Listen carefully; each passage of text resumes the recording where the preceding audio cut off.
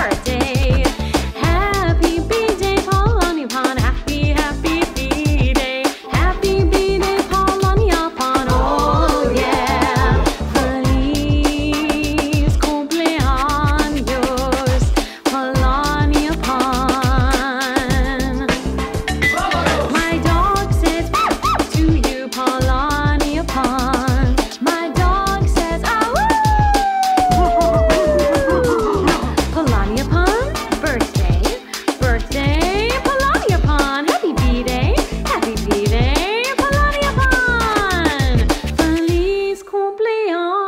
yours, Polani upon, yeah.